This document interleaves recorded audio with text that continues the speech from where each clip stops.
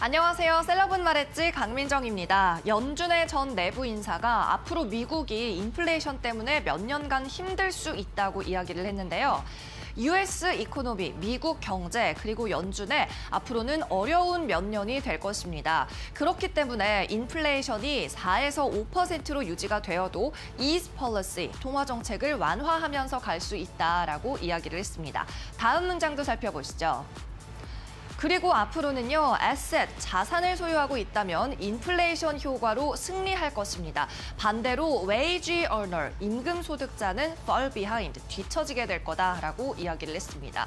이렇게 올해도 가시지 않고 있는 인플레이션 우려 어떻게 대응하면 좋을까요? 스튜디오에서 다 자세한 이야기 나눠보시죠.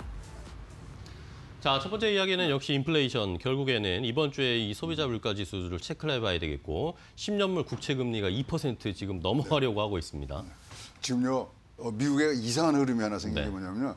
어, 과거에는 어, 지방연 어, 연방 총재들이 막 사고 치면은 의장이 수습하러 다녔거든요. 지금 거꾸로 됐어요.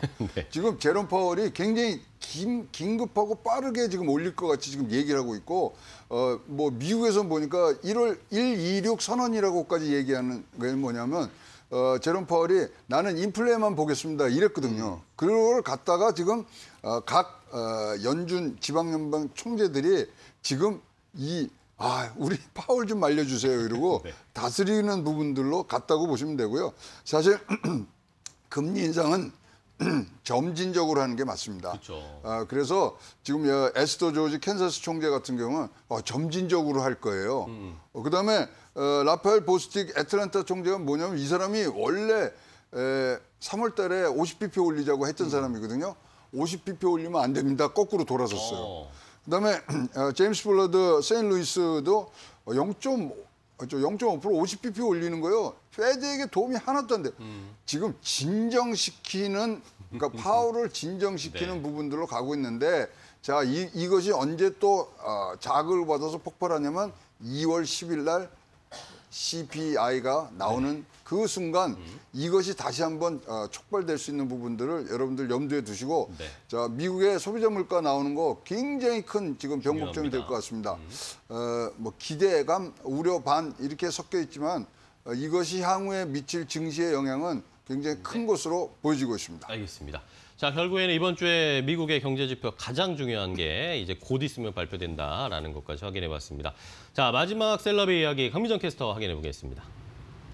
네, 엔비디아의 암 인수가 무산됐습니다. 이 독과점 우려 때문에 각국의 규제 당국들이 반대하고 나섰기 때문인데요. 암의 최대 주주인 손정의 소프트뱅크 CEO의 말말말 들어봅니다.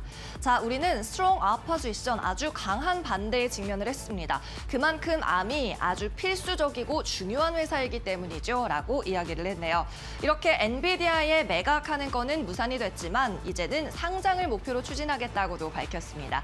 그럼 여기에 관한 자세한 이야기 스튜디오로 넘겨드리고 저는 여기서 물러가겠습니다. 저는 내일 이 시간에 다시 올게요. 자, 강민정 캐스터 수고하셨고요. 마지막 이야기는 역시 이슈가 있었던 엔비디아와 ARM, ARM의 이 관련된 M&A 이슈였습니다. 결국에는 좀 무산되는 모습입니다. 이제 뭐 그래픽 최강자 엔비디아가 모바일 91%를 차지고 있는 모바일 앱의 91%를 차지하는 ARM을 지금 살 수 있었는가? 이거는 처음부터 했고 작년 연말에 미국 연방위원회에서 FTC에서 반대하는 제소까지 했었던 것도 기억하실 거예요. 그러나 이제 80조가 넘는 거대한 이런 부분들의 어, 뭐 M&A가 어, 이런 뻔히 보이는 어, 결과를 놓고서 시작된 것부터가 좀 의문점이 가고요. 자, 이르려면은 지금 아까 어, 우리 강민정 캐스가 소개한 것처럼 어, ARM이 증시에 상장을 한다는 거죠. 네. 몸값이 어마무시게 지금 그렇습니다. 그러니까 내 몸값은 80조예요. 지금 찍어놓고 간 거거든요. 네. 어, 그래서 지금 또 영국의 지금 어, 증시 상장이 아니라 미국 증시 상장을 노리는 어. 거 보면 어, 이것도 조금 어, 퀘스천이 좀 있습니다. 이거는 참 흥미진진하고요.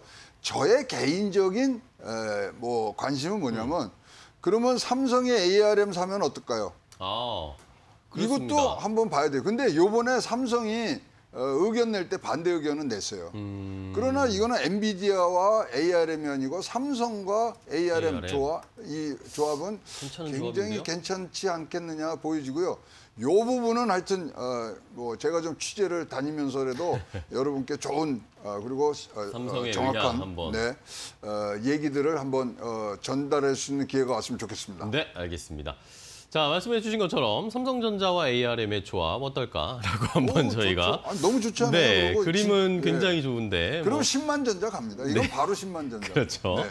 자, 과연 삼성이 어떤 의중을 가지고 있을지도 고문님이 좀 취재 부탁을 네, 드리겠습니다. 그렇습니다. 네, 고맙습니다. 오늘 고문, 최양 고문님과 함께 이야기 나눠봤습니다. 좋은 말씀 감사하고 내일 또 뵙도록 하겠습니다. 고생 많으셨습니다. 네. 고맙습니다.